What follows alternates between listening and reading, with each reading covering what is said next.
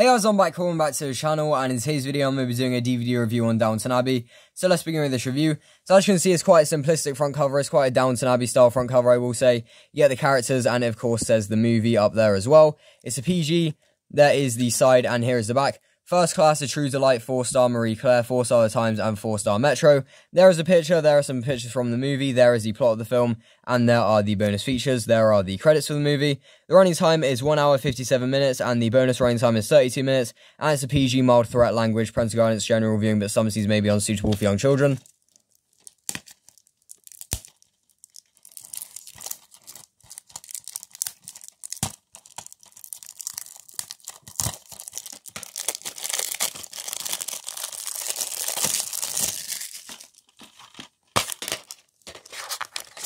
Here is a leaflet. Um, yeah, there you go. Just uh, behind the scenes at the home of Downton Abbey, and there is the back of it as well with the more details and everything. There you go. And there is the disc, uh, some nice disc artwork on there, and it of course there's the motion picture there as well. Um, yeah, thank you very much. I'm just trying to close out without, uh, you know, damaging the leaflet there or anything. Thank you very much for watching this review. If you did enjoy, please remember to like, comment, share, and subscribe if you want to. And until next time, bye-bye. Oh, and I've also just got to mention I never actually removed this. Uh, there you go. Now it's a uh, fully unwrapped DVD by the looks of things. Um, yeah, thank you very much for watching again.